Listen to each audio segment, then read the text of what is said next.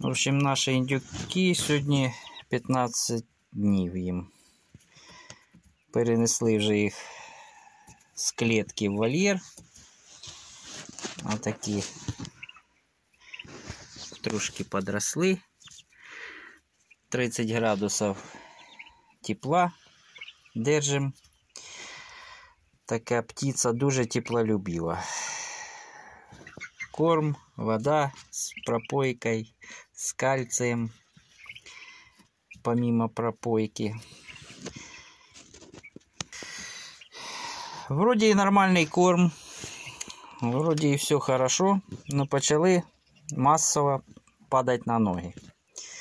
Ну, ці просто відпочивають, воно бігають. А ті, що впали на ноги, то ми їх убрали. Помимо корма, взяли витаминный комплекс и по капельке в дзёба.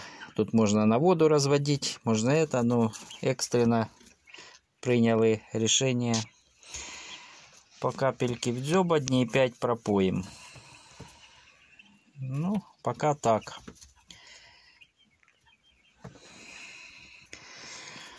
Значить, зробили ще, вложили їх сразу на тирсу. Ну, це дурна птиця, клює ту тирсу, все одно, що корм. Може забитися пищевод, я так думаю. Може, це у нас і трошки вони остановились в рості з-за цього. Пересадили їх на ту голий пол, а це на сено. В общем, тирсу исключили з подстилки. Всі бойлери, бройлери у нас на тирсі, уже декілька років, нічого, все нормально. А от ці товариші дуже ніжні. Ну, основная температура, корм, питье.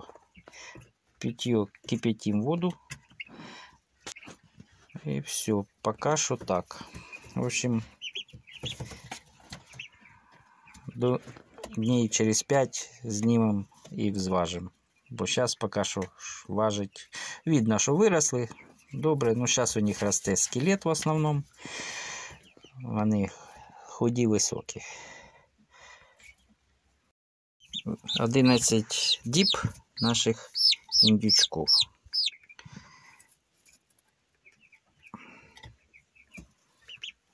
Так, 165.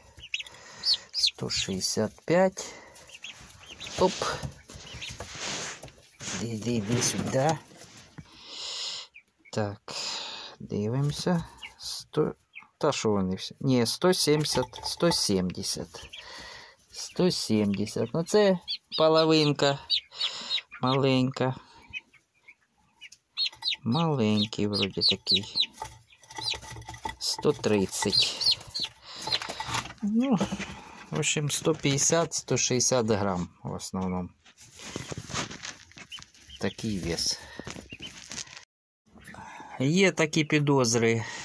Або це крамар трошки корм для індюков подкачав, або от це от зіграла роль штирса, що може об'їлися вони її і затормозили в рості.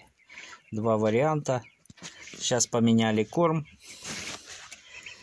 Не буду рекламировать, пока еще буду знать точно. Если все будет хорошо, расскажу, який корм.